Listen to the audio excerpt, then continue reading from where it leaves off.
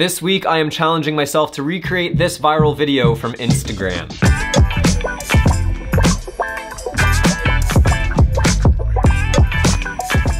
The creator of this video, Steve Giralt, is a tabletop director and visual engineer from New York City. If you look through his work on Instagram, you'll notice that he does a lot of breathtaking visuals with some of the most expensive and awesome gear that money could buy. Now, it's easy for me to sit here and say, yeah, if I had all that fancy equipment, I could probably make videos like that too. But that actually couldn't be further from the truth because the reason Steve is able to make the videos that he makes is not because of how fancy his equipment is, it's because of the one thing that money can't buy, and that's creativity. Now, what I especially loved about that video is how inspiring it is because there's no phantom cameras, there's no robots, there's no crew. All he needed was an iPhone, a bit of hardware, and some fishing line to come up with this incredibly creative concept. That is what making videos is all about, and that's the video I wanna recreate this week.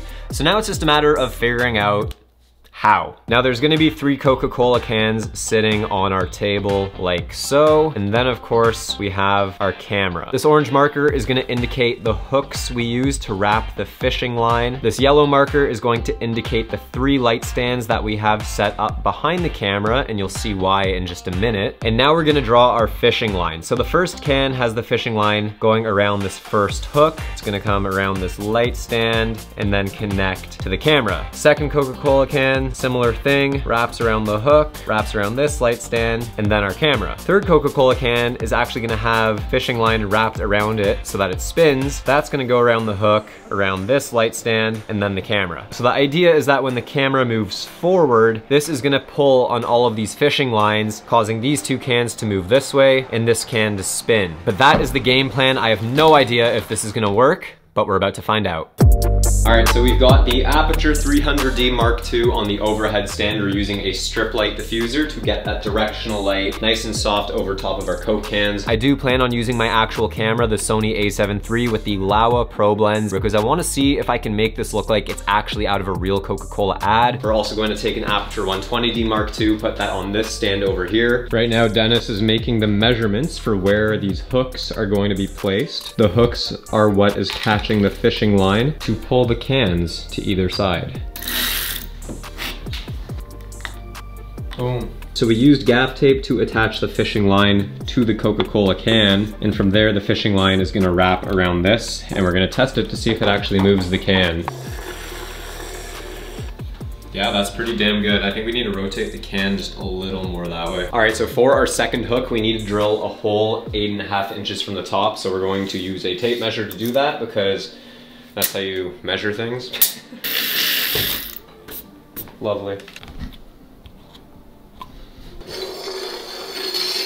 It slides. All right, we're on the right track. So we've got two cans down with the fishing line. Those are pretty much ready to go. Obviously, we're gonna have to hook all of that up to the slider so that it all goes at the same time. But the third can is really gonna be the tricky one because we're not just pulling it, it's gonna be spinning. The idea I had for the third can to make it spin is to take a longer screw, drill up through our white tabletop into the can. That way it doesn't go anywhere. Then we're gonna take two smaller screws and drill that into the bottom of the can and wrap the fishing line line around it tied to one of those two screws and then as it pulls it will unravel and spin. At least that's the idea. I have no idea if this is gonna work. In my head it does. In real life, who knows? We have not tried this yet. This is the first attempt to see if the can spins.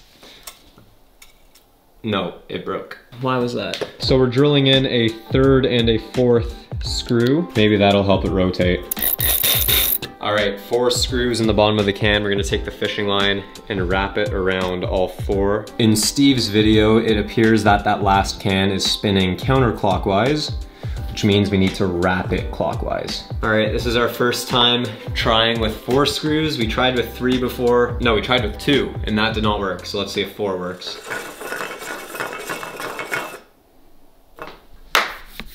So initially we tried just putting two screws in the bottom and wrapping around those. That did not work. The fishing line snapped almost instantly. Instead now we have four screws and we're just wrapping around and around, getting that rotation. So we don't want the fishing line from our back can to interfere with the fishing line from the middle can.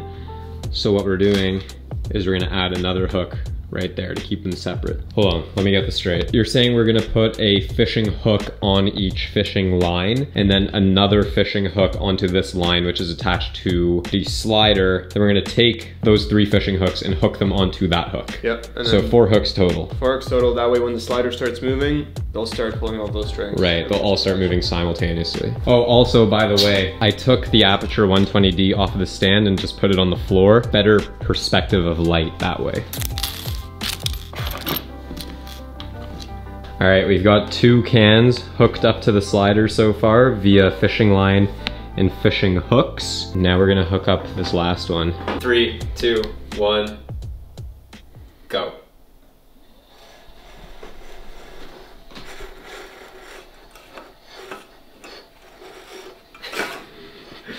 what is going on?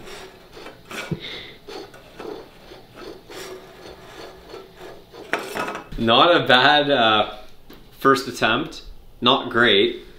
So I sped this up 400%. They all kind of stutter, but we're on the right track, man. This is gonna look cool. I don't know if it won't not stutter. You know what I mean? Like, There's gotta be a way to get it smooth. So we noticed a few issues with that first take. We think that the closest can had a kink in the fishing line that was causing it to stutter. So we're gonna replace that fishing line. Now the can that was stuttering the most was the spinning can, the third one at the end. And we think that the reason is because these four screws aren't equal distance from each other. So what we're gonna do instead of these screws is we're gonna take a new can and we're going to attach a lid, like a bottle cap to the bottom. We're gonna still have a hole in the bottom of the can to go on that screw there so it stays in place, but we're also gonna glue this cap to the bottom. That way, once we put it through, we can just spin it like that. That'll wind up the fishing line and then as it pulls, it'll unravel. Hopefully that'll be a bit smoother. Fingers crossed. The other thing we've discovered is that this slider, because it's smaller, is simply just too slow. We need some faster movement to get a more consistent and smooth motion. So we're gonna swap out the slider one for the slider plus, and that should fix our problem, I think. Let's see if it is smooth now with the new slider. I really hope it is, because if it's not, we're gonna have to go back to the drawing board. Three, two, one, go. it's just the surface.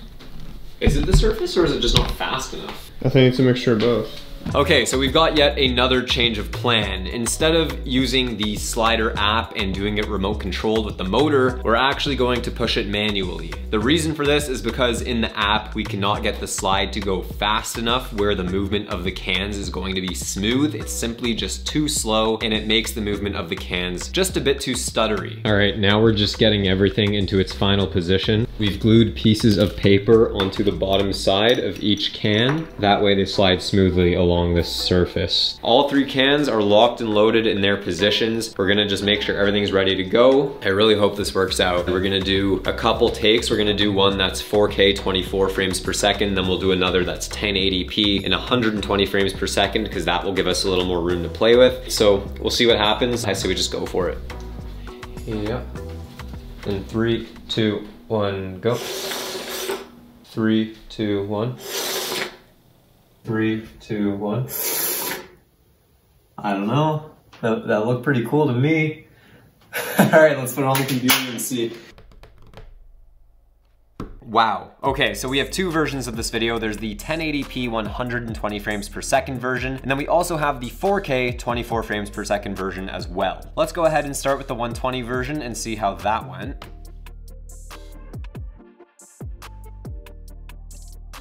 All right, that is a lot better than I thought it was gonna be. I'm seriously impressed with how that turned out. I think I actually like the next version more, which is the 4K 24 frames per second version, and this is what that looks like.